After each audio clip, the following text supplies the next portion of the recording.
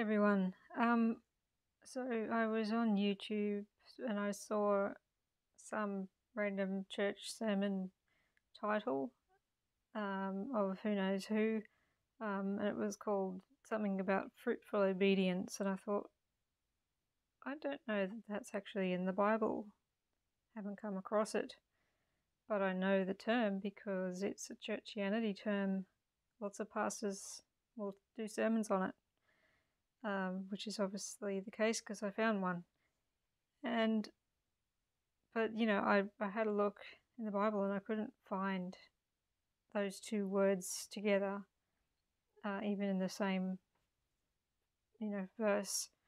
So, um, you know, you've got two definitions. Let's say the first definition is fruitful obedience is producing fruit, fruit through obedience to law and commandments. And second definition, fruitful obedience is obeying the gospel or believing the gospel, living by faith, walking in the Spirit, by setting your mind on the things of the Spirit, being led of the Spirit, resting in the finished work of Christ, and therefore receiving life and peace through the Spirit, which is the fruit of the Spirit. So, which one do you think is correct? And I hope you say number two. Um, if you're if you think it's number one, you're probably in the wrong place wrong channel. Um, but you know, if you listen to any sermon from any pastor out there in the in churchianity, I can ninety nine point nine nine nine percent guarantee that they will go with the first definition. Uh, that you produce fruit by obeying law and commandments, which is not true um, because we know that the law uh, stirs up uh, the flesh, stirs up sin. Um, Romans 7 clearly teaches us about that. So it can't possibly produce the fruit of the Spirit because the sin and the fruit of the Spirit, uh, you will not find them in the same place. They're just polar opposites. The Spirit does not work through obeying law and commandments. It works by faith, um, setting your mind on things of the Spirit. Um, you know, the truth of who you are in Christ, what He has done, who He is. Um, and it's got nothing to do with what your behavior is. Um, so, looking at the Bible, I I just can't find anything that really puts them together. Um, but we can look at some verses. So, what do we know about fruit? Um, I found in Galatians 5 that law and fruit of the Spirit are unrelated. This I say then walk in the Spirit, and ye shall not fulfill the lusts of the flesh. For the flesh lusteth against the Spirit, and the Spirit against the flesh and these are contrary the one to the other, so that ye cannot do the things that ye would. But if ye are led of the Spirit, ye are not under the law. But the fruit of the Spirit is love, joy, peace, long suffering, gentleness, goodness, faith, meekness, temperance. Against such there is no law. Um, so, spirit and flesh are opposites. And when you're, as Romans 7 teaches, when you're focused on the law, focused on flesh, um, you know, your own performance and commandments, um, you, end up just doing them. Like the more you try not to, the more likely you are to do what you're trying not to do. You do you cannot do the things that you would. It's like what is it? Um, I do that which I do not want to do. You know that tongue twister those tongue twister verses in Romans 7. Um, and the opposite is, but if you're led of the Spirit, and from Romans 8, we know that being led of the Spirit is setting your mind on the things of the Spirit. What is the Spirit saying? It speaks of the work and person of Jesus Christ, what he accomplished on the cross, who he is, who you are in him, what he has done for you, um, so when you're focused on that rather than on your own performance and how you measure up to law keeping, um, that is being led of the Spirit. And therefore, you're not under the law because we're dead to the law. And the Spirit works by faith uh, faith in Christ and his work. And therefore, um, when when you're walking by faith, um, you produce fruit of the Spirit because the Spirit, um, working by faith, will produce love, joy, peace, long suffering, gentleness, goodness, meekness, faith, temperance. Against such there is no law. So the law has nothing to say against Jesus Christ. Jesus Christ is all of those things. And because we are in Him, baptized into His death, raised to new life in Him, we put on Him. And He is love, joy, peace. You know, He's the Spirit, the Spirit of Jesus Christ. And everything that He is, um, is given to us through the Spirit. And the law cannot say anything against that. Um, because the law was a shadow of the righteousness of Christ. Uh, it is not the real thing. Christ is the real thing. Um, the shadow does not have anything to say about Christ himself, and it just can't measure up. Can't say he hasn't done something because he is the definition of righteousness and um, uh, everything that Christ is is perfect. you know, he he is the definition, and the law is just a a vague representation of the things that Christ is. So there's nothing that the law can actually say against him and what he is. Um, and through him we have that. So the law has nothing to say to us, and we're dead to it. Um, so law and spirit are unrelated. Sorry. No, that's right. But I mean, law and fruit of the Spirit are unrelated. They they just do not coexist at all. Um, we can't produce fruit on our own. Only Christ can, and we know this from John 15. Abide in me and I in you, as the branch cannot bear fruit of itself except it abide in the vine. No more can ye except ye abide in me. I am the vine, ye are the branches. He that abideth in me, and I in him, the same bringeth forth much fruit.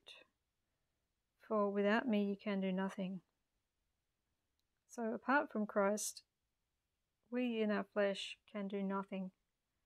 Any obedience that we might manage to conjure up does not produce anything good. It might look outwardly good, but it's not of the Spirit, and therefore it's not fruit of the Spirit um, only Christ Himself in us, uh, because we are in Him and have put Him on, only He produces it through the Spirit. So, us trying to do something of our own on our own and presenting it to God and saying, "Look what I've done," that's it's meaningless to Him. It's that's the flesh. It's not the Spirit. He, if He didn't do it, it's worthless. So only he can do, he can only he can produce fruit, real, the real fruit. Um, and discipline. So we've got the Hebrews verses on discipline. Um, discipline produces the peaceable fruit of righteousness, but this there is no actual link here to law obedience here. Um, and this, you know, these verses teach that all children of God receive chastening. This is not only for the disobedient children. um, it's like we all start out, you know, we all believe the gospel when we're saved, and then it's a learning process of figuring out that we're not capable of producing anything good on our own apart from Christ we have to learn that our flesh can do nothing. Um, it only produces evil, um, and we we can't manage anything. We have to totally rely on God. We have to walk in faith. Um, it's it's His way of discipline is His way of bringing us closer to Him, trusting in Him, relying completely on Him, uh, stripping away our self righteousness and replacing it with His righteousness and our, our full, full reliance on Him, knowing that in, in our flesh we are nothing, but in Him we have the Spirit and and He is our life, and He's the one who reduces the fruit and the good works. Um, and that is that is what discipline does. So you know, like you you're going along in life, you you've got a good job, you've you bought a house, um, you've you've done a few, you know, you've made it made something of yourself of your life, and you think, yeah, um, I'm I'm doing pretty good, and um, you sort of you're Christian, but you're sort of just like, yeah, God's there if I need Him, but I got this, you know, I'm doing pretty well. Um, you're ready for some discipline.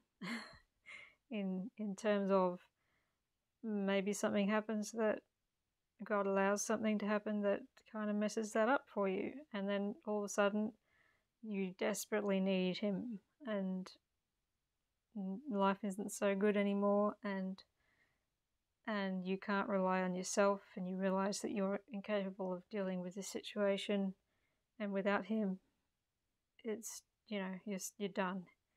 Um, it can manifest in so many different ways, but you know, life life trials are designed or used by God to bring us closer to Him, to rely on Him more, and that is discipline.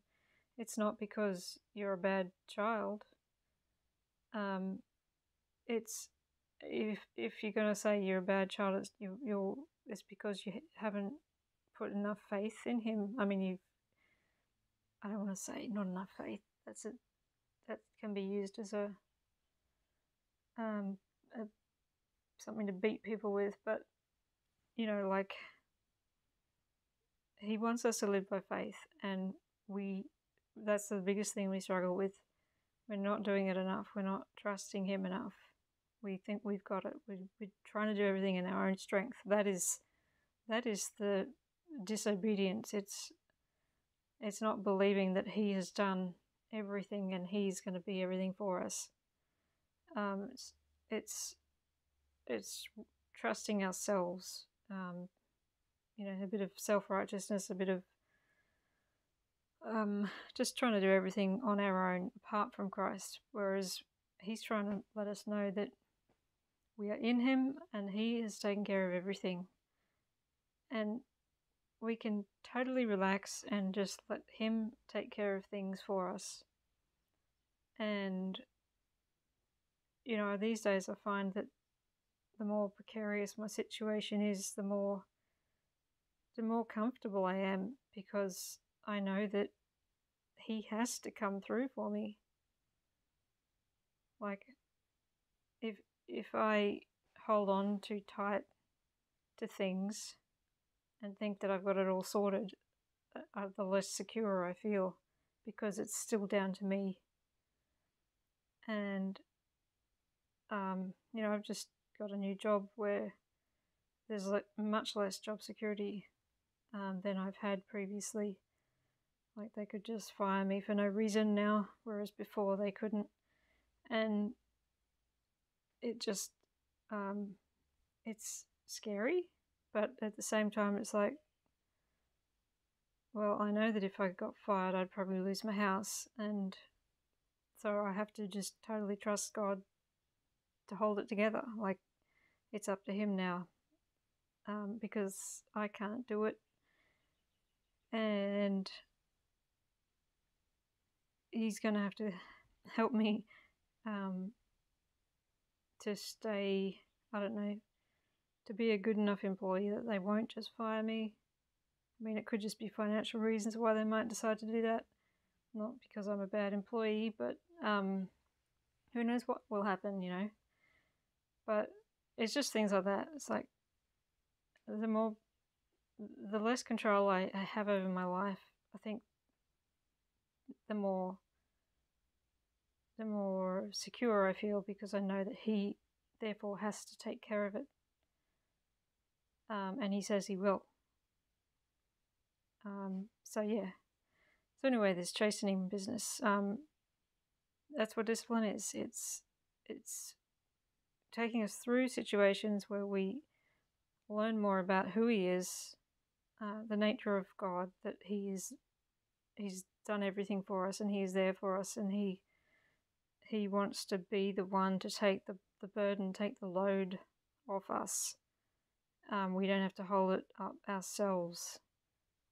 Um, that is the purpose of it. So, and yeah, of course, it's not fun going through that, but then you've finally learned the lesson. It's like, oh wow, he really does have it covered. Like, um, so anyway, I'll read it. If ye endure chastening, God dealeth with you as with sons. For what son is he whom the Father chasteneth not? But if ye be without chasten, uh, chastisement, where, whereof all are partakers, then are ye bastards and not sons. Furthermore, we have we have had our fathers of our flesh, which corrected us, and and ga- uh, and we gave them reverence. Shall we not much, um, and shall we, shall we not much rather be in subjection unto the Father of spirits and live? For they verily for a few days chastened us after their own pleasure, but he for our profit, that we might be partakers of his holiness. Now no chastisement for the present seemeth joyous, but grievous. Nevertheless, afterward it yieldeth the peaceable fruit of righteousness unto them which are exercised thereby. Um, and you know the way we're partakers of His holiness uh, is through the Spirit, and you know as you're walking by faith, that's how the Spirit works by faith, and it it brings forth fruit of the Spirit, the peaceable fruit of righteousness. So that's the whole purpose of of discipline. It's not about getting you to be more obedient, except uh, if you want to call it obedience, it's what is it obedience to? It's obedience to the gospel. He's told us to live by faith. Um, the just shall live by faith. We believe the gospel. The gospel tells us everything that Christ did, that he has paid it all, and we live by faith in that gospel. And when we're living by faith, the the Spirit works. The Spirit works by faith, making us partakers of His holiness, and it yields the peaceable fruit of righteousness. So, yeah, another link to law obedience um, when it comes to the peaceable fruit of righteousness. Um, so, those are some verses about fruit. And I did find you might try to draw the two together obedience and fruitfulness um, in Colossians 1 and Romans 6. Um, but the only way you can interpret them is obedience to the gospel, not obedience to law. So let's have a look. For this cause, we also, since the day we heard it, do not cease to pray for you, and desire that you might be filled with the knowledge of his will in all wisdom and spiritual understanding, that you might walk worthy of the Lord unto all pleasing, being fruitful in every good work and increasing in the knowledge of God. So we've got being fruitful in every good work. Um, and we know from John 15 that without him you can do nothing. So the good works that you do, um, the fruitful good works, have to be Christ Himself doing it through you by the Spirit, by faith, because the Spirit works by faith. And one thing we're told, you know, it's supposed to renew our minds, um, grow in the knowledge of the Lord Jesus Christ. Um, and here it's it, these Paul is praying that they would be filled with the knowledge of His will and all wisdom and spiritual understanding. So they're growing in knowledge. It's it's setting their minds on the things of the Spirit. What what has Christ done? Who is He? um, who are we in Him, um, His person and His work, all of that. They are to grow in knowledge of that, and, in wisdom and spiritual understanding, and if that happens, then the result is that they would walk worthy of the Lord unto all pleasing because they're walking in the Spirit. Um, it's not because they're obeying law and commandments that they're pleasing to the Lord. It's because they're walking by faith and being filled with that knowledge, which is you know setting their minds on the things of the Spirit and walking by faith, which is what He wants us to do. That is uh, the obedience. And and therefore, because the Spirit is working, when we are doing good works, they are fruitful good works because they're of the Spirit. It's Christ Himself working in through us through the Spirit. And you know, keep increasing in the knowledge of God.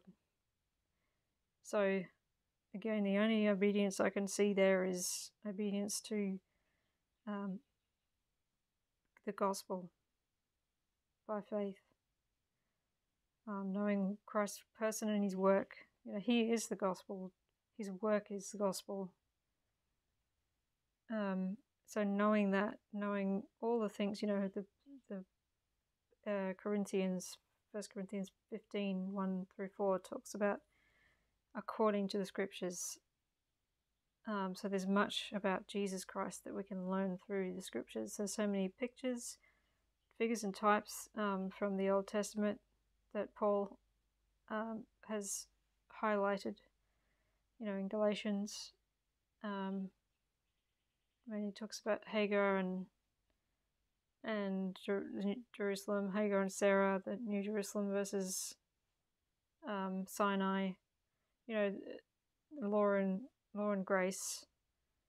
Um, I don't know, just things like that. You know, like so many pictures that point to Jesus Christ and His grace. Um, so you you can learn all about Christ through the entire Bible. Christ is on every page. It's all pointing to him and his work, the gospel. So then, Romans 6 um, Know ye not that to whom ye yield yourselves servants to obey, his servants ye are, to whom ye obey, whether of sin unto death or obedience unto righteousness? Obedience unto righteousness. Is that obedience to commandments? Because you cannot become righteous through obedience to the law. Otherwise, why did Christ die? He would he, he died in vain if we could become righteous um, through obedience to the law, which is uh, I think Romans four, some early Romans chapter anyway. Um, so obedience unto righteousness can only be belief in the gospel which we are made righteous through believing the gospel. Christ imputes his righteousness to us when we believe. Um, but thank be thank oh, sorry, but God be thanked that ye were that you were the servant of sin, but ye have but ye have obeyed from the heart that form of doctrine which was delivered to you. So there there's um the obedience to the gospel um, that form of doctrine which was delivered to you is the gospel. So, yeah, we've obeyed the gospel. Um, being then made free from sin, ye became servants of righteousness. I speak after the manner of men because of the infirmity of your flesh. For as ye have yielded your members servants to uncleanness and to iniquity, unto iniquity, even so now yield your members servants to righteousness in, unto holiness. For when ye were servants of sin, ye were free from righteousness. What fruit had ye then in those things whereof ye are now ashamed? For the end of those things is death. But now, being made free from sin and become servants of God, ye have your fruit unto holiness, and the end everlasting life. For the wages of sin is death, but the gift of God is eternal life through Christ Jesus our Lord. So, um, let's see. So we're made free from sin through our death with Christ. by believing the gospel, and that therefore we're um, not in the flesh anymore. We're we still have the flesh, but we're not in the flesh. Um, we're in the spirit now, as Romans eight talks about. Um, and you know, before before we were saved, we could do nothing but sin. Like that was that was it. We were in the flesh. Flesh sins. Flesh can do no good.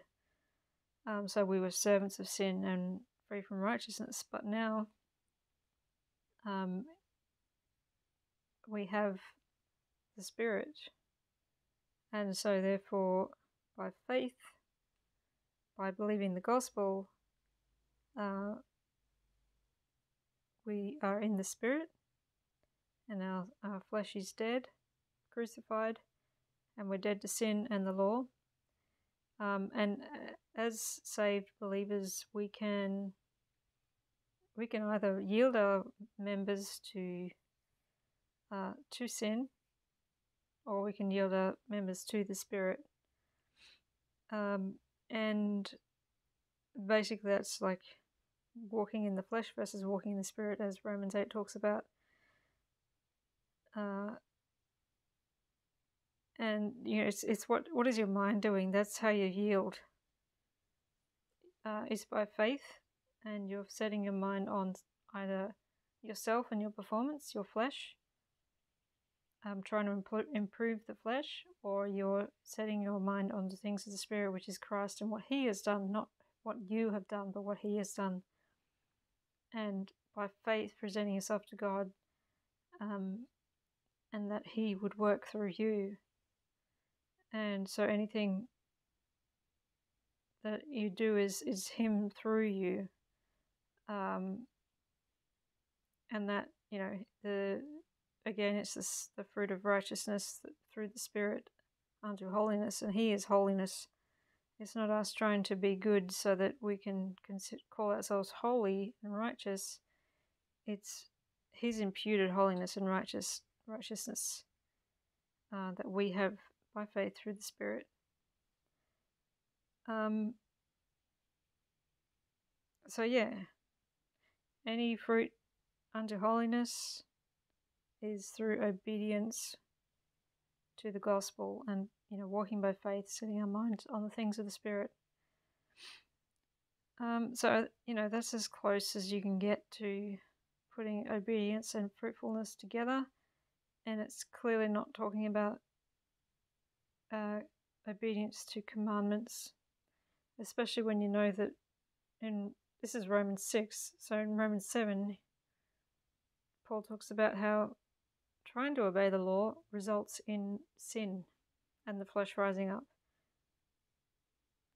And then Romans 8 tells you so what you need to do is walk in the Spirit, which is setting your mind on the things of the Spirit, which is Christ's person and his work, the gospel. Um, that Christ died, was buried, and rose again on the third day according to the scriptures. Everything that Christ did according to the scriptures, and who he is, and who you are in him, your identity truths. So, um, yeah, there's no such thing as fruitful obedience in the context of obeying law and commandments. So, next time you hear that, just tune out. All right, hope that blesses you. Bye.